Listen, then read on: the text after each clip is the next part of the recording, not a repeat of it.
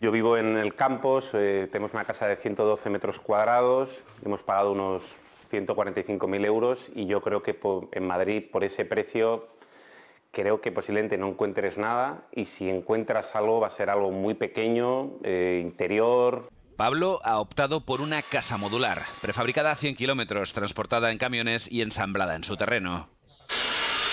Una opción al alza desde la pandemia, nos cuentan en la fábrica donde la han construido. Quizás en el último año eh, podemos hablar de haber aumentado cuatro veces eh, el número de contactos, de proyectos y de ventas, con, e, esta tendencia de la gente de buscar eh, hacer una casa en un entorno natural y hacerla en una fábrica. Es el caso de Alberto, que el confinamiento le decidió a vender su piso. En breve estará teletrabajando en esta casa, lejos de la ciudad. Hemos vendido la casa más o menos bien y con ese dinero hemos podido comprar la parcela y meternos en este proyecto.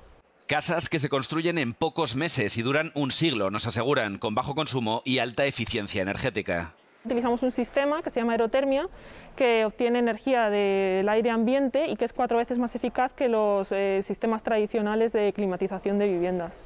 La pandemia y el teletrabajo han abierto una ventana prefabricada al mundo rural que este tipo de casas está aprovechando.